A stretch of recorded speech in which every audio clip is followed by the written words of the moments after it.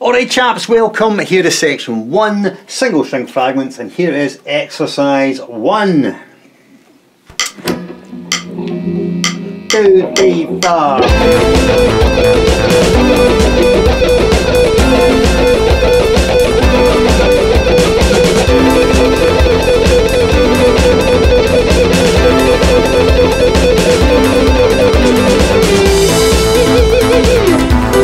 Alright, dead simple three note descending, C, B and A, repete, repete, repete, repete, repete. Alright, make sure the synchronisation is good, should be no problem, alright. And let's do number two, which is just the reverse of number one, I'm going to ascending little triplet. Here we go.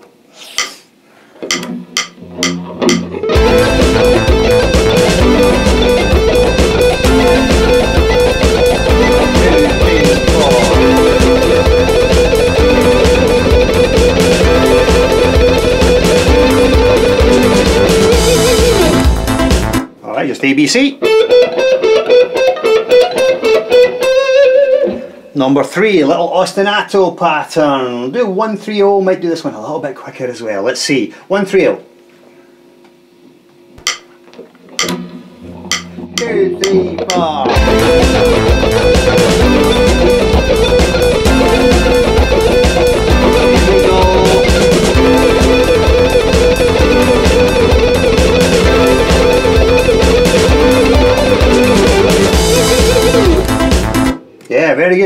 I think that one, so we challenge ourselves a bit. Let's try 140 for this little pattern.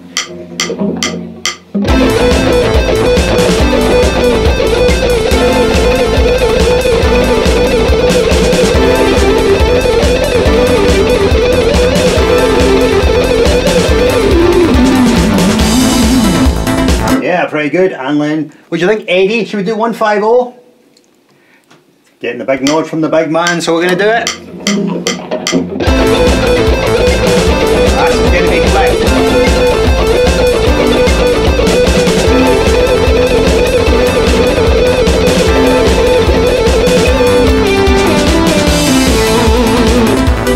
Concentration to keep that one up, very intense.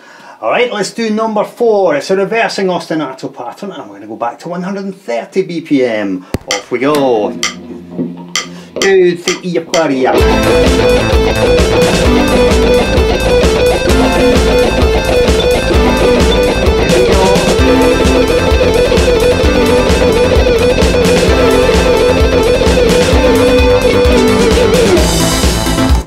Alright, pretty cool, pretty cool, pretty cool. And then number five, number five, we're going to do one three. I'm going to crank the hell out of this one. Alright, the up and down guy. It is, half time.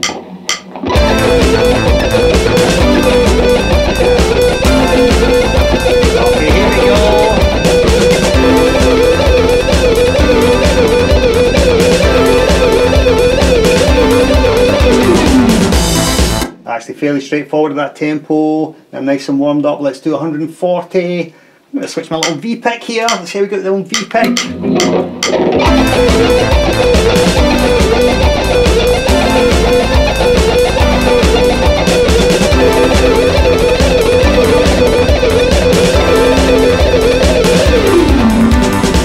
Again it seemed pretty comfortable, so let's do 150.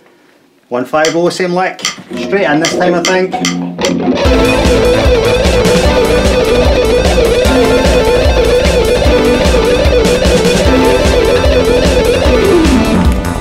Yeah, no bother. Is there more in the tank? Let's just push it to failure. 160.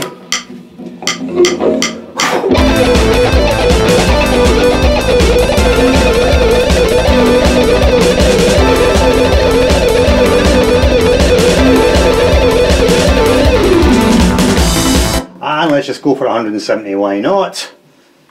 Extreme, extreme, extreme, why not? Three, four.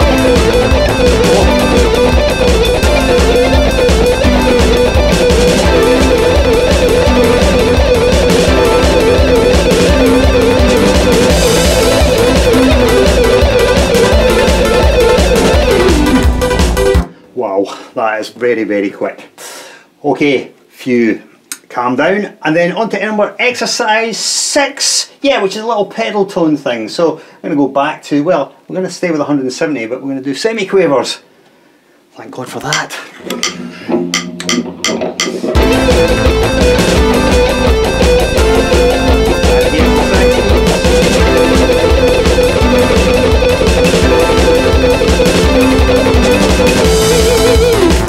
Yeah nice and simple four note thing Dead easy. All these initial exercises are just designed to get synchronization together on one string before we have to start worrying about the dreaded string crossing. Because obviously you can't really play fast or well articulated if you don't synchronize well on a single string. So that's kind of the idea behind all of these guys. Let's carry on and do, this would be exercise number seven, so reverse pedal tone.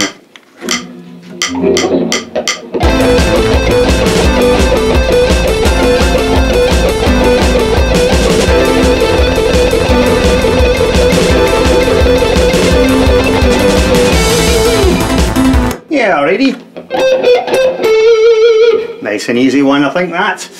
And then number nine, this is a sort of up and back guy, or is it just a down guy? It's just, uh, I don't know what this one is, very, very good. Let's do, actually this would be exercise eight, I believe, not, not exercise seven, yeah, exercise eight. So, uh, here is number eight. I'm going to do this at 180 and then again let's just try and crank the hell out of it 180 exercise 8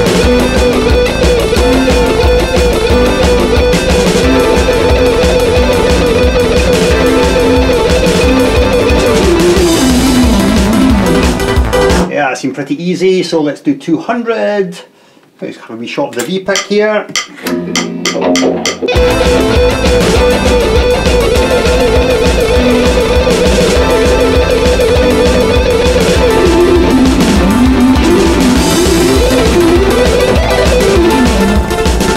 Yeah, good stuff, and there's still more in the tank here, I think. Let's do 220. 220, 220.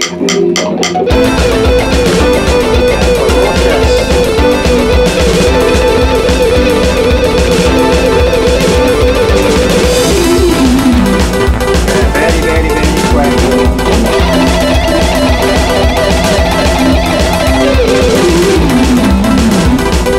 Yeah, super duper. And uh, what do you think, Ed? Should we crank this a bit more? Is it crankable? Let's do 240. It's getting freaking insane now. Right, 240.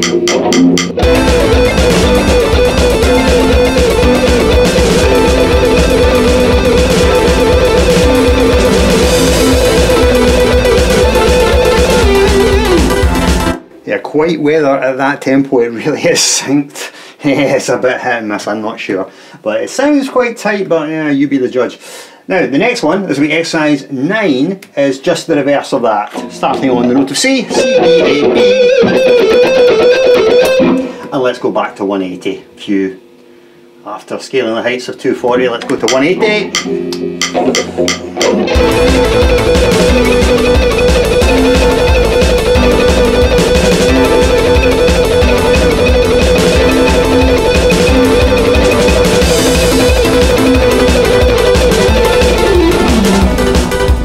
After 240, 180 seems positively pedestrian. Tempo has got a weird way of sort of changing in your mind that if you play at an extremely quick tempo or a tempo that's beyond your usual comfort zone when you go back to the the tempo that initially you maybe considered to be quite quick or a bit challenging, it just seems like you've got plenty of time. This is why, for instance, 120 beats a minute feels very fast to a beginner, but you know, to a seasoned player it's nothing, but 120 for a beginner, yeah, it seems like it's so fast, it's so little time to think, but pushing the tempos extremely means that your you know ordinarily quick tempos just don't feel quick. To me 180 does not feel quick at all. Alright, anyway, eh, can we, can we, can we crank this one? Let's crank it. Let's crank it to 200.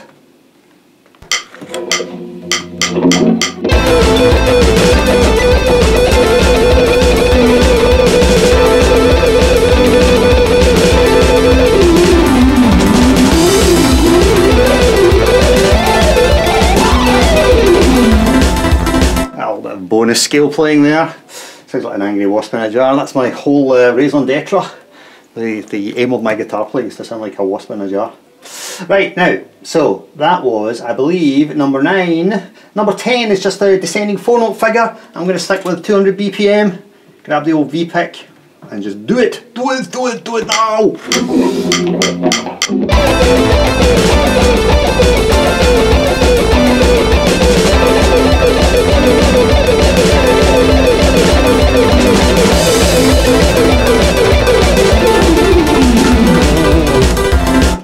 Definitely get the feeling there's more in the tank than just 200 there. Let's do 220.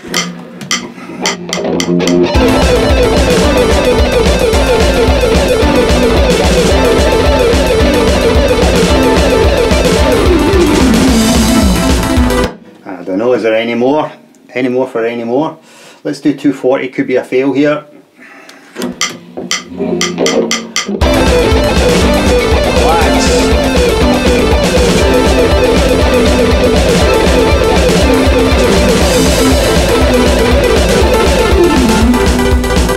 Again, it's going so quick it's hard to hear whether you're really, really in the pocket or not, but it feels it feels okay. But yeah, put it on the microscope, uh, is it quite so tight? Maybe not. Right, let's move on. I'm back to 180. I'm going to do an ascending group of four, why not?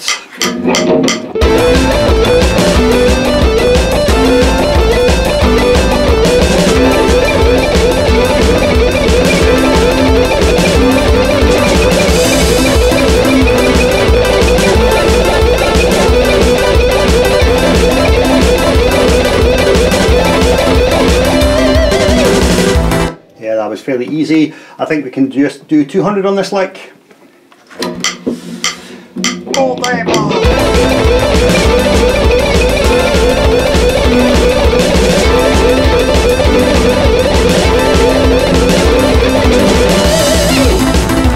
I oh, would think, Ed? 220? Shoot for 220 on this lick. Here we go. Oh,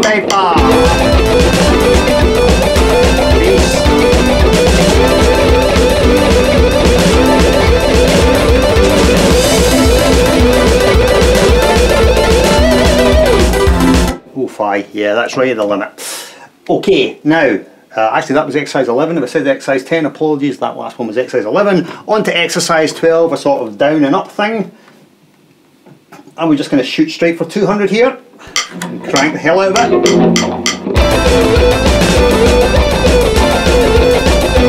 it.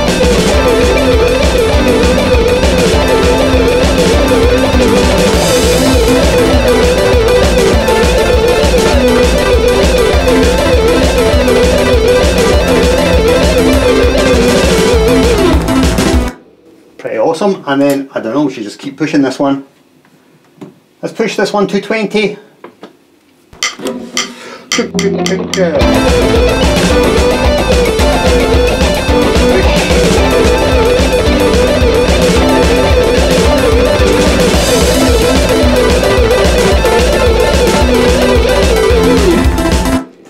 Should we push some more Ed? Let's push to 240 maybe. Yeah, try and hit 250. Let's let the uh, left hand recover. You know that joke, what's this? So I did one of that. That's how my left hand feels. Let's play 240.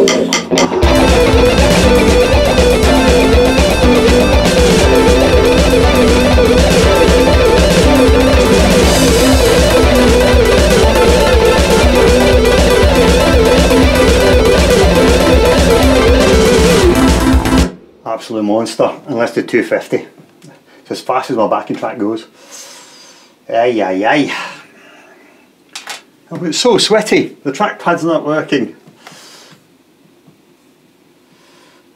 Use the mouse look.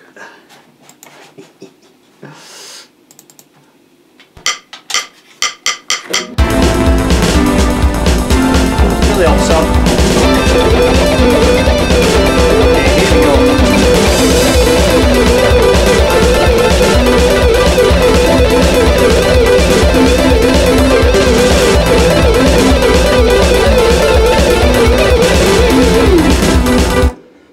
monstrous. Alright, that was pretty hard. And I think that's it guys. Yeah, Hurrah! Made it through section one. I appreciate these tempos are ridiculous. I'm really just going as fast as I possibly can. Tempos you should aim for, I would say that for semi-quavers, 150 BPM would be really respectable. Uh, semi-quaver triplets, anything up to well over 100 would be good.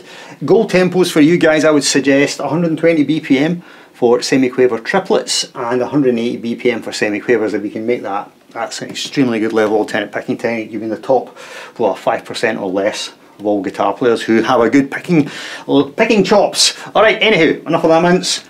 Section 1 done, on to section 2.